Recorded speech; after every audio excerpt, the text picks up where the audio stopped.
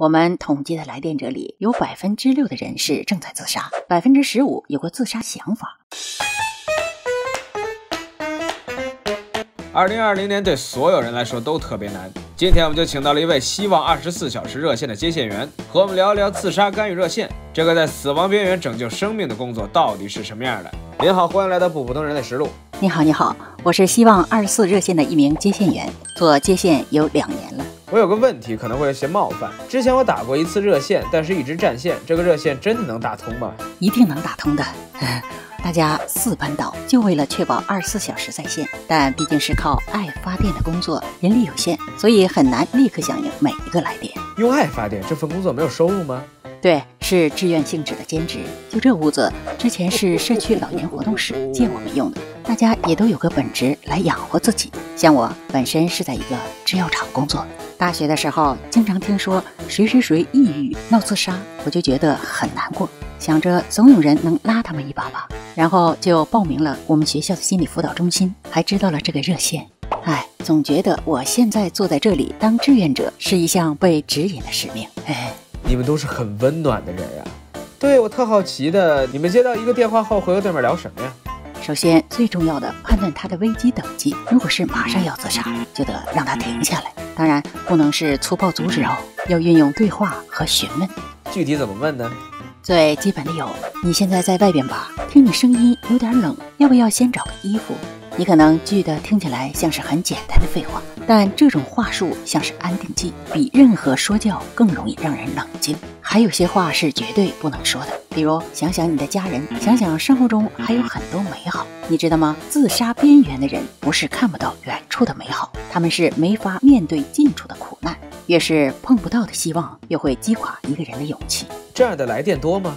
我们统计的来电者里，有百分之六的人是正在自杀，百分之十五有过自杀想法，更多人是想要倾诉，找到走下去的勇气。这也是我们很大一部分存在的价值。近年来，学生打来的电话越来越多了。怎么说呢？成年人看来，学生的烦恼不痛不痒。情感问题啊，自我认同啊，家庭冲突啊，觉得学生问题多是脆弱的一种表现。但其实让很多学生崩溃的不是事件本身，而是太脆弱的标签剥夺了他们的倾诉欲，负面情绪慢慢累积，才有了无助和绝望。唉，难过怎么会分大小呢？压倒我们的每根稻草都足够有分量。我想起上学时也经常被批评不成熟，确实要对每个人的脆弱都宽容一些。是，还有一部分是抑郁症患者。尽管这些年抑郁是个大话题，但其实不少人甚至负担不起心理咨询费用，或者都意识不到自己的症状。我们的一次性陪伴肯定比不上心理咨询，但我相信是有效的。还有，你可能想不到，经常会有抑郁症患者家属打来。家属吗？对他们也面对着深深的无力感，不断质问自己做错了什么。因为一些抑郁症是跟原生家庭有关系的，于是很多家人就会进行自我否定。他们其实也挺不容易的。你会给他们什么建议吗？接受病症本身，接受家人患病的现实。我接触过一位患者的妈妈，她给孩子买好吃好玩的，带去旅游，但就是绝口不提抑郁症，甚至还跟孩子爸爸隐瞒，担心抗抑郁药有副作用，就擅自给停了，以为熬熬就过去了。你看吧，一些抗拒是会伪装成关心的，所以要学会接受，相信医生的诊断，保持同理心，给予真正的陪伴，这些都很重要。我明白，我们从小到大其实很少被教育如何去关心和去爱，的确是要不断的学习的。对了，今年的疫情会让来电变多吗？往年就有很多中年失业的来电，今年多了不止一番。我们专门开设了疫情专线，之前有个大哥打来嚎啕大哭，说自己没钱给车加油了。他做水产的，疫情以后澳龙什么的全赔了。他说每天坐在房子里干喘气就能赔几十万，想开车去近郊散散心吧，才发现所有银行卡被冻了。经济的不景气加上身体的衰老，已经让太多人捡不起东山再起的信念了。我虽然也不知道疫情什么时候会完全过去，但我希望他们能明白，生活的转机可能会更早一步来。是的，转机也是未知的一部分。它总会来，但要等得起。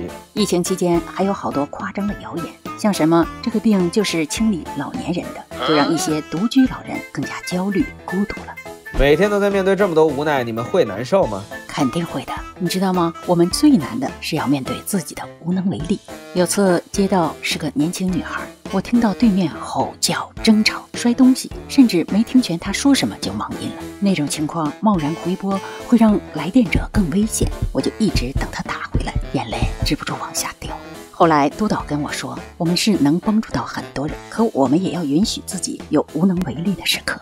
接触过这么多人之后，你会觉得这份工作对你有什么改变吗？接线让我看到了社会中被折叠的部分，有的狱警联系我们和服刑人员聊聊，我才知道那些每天都在直面自己罪行的人，百分之九十会患上不同程度的心理疾病，轻度的有厌食、睡眠障碍，重度的出狱后患有终身社交障碍和惊恐症，还有我之前不了解的跨性别这个概念。其实呢，这只是众多性别认同的一种。社会否定他们，他们也会自我否定，所以近半都想过自杀。还有一些欠发达地区的女同性恋自杀率也很高。看过那种新闻吧？被迫和男性结婚甚至生育。生活对每个人都是不一样的重量，有些人光背负活着本身就已经要拼尽全力了，所以没人比他们更懂得偏见的沉重。今天的话题还蛮沉重的。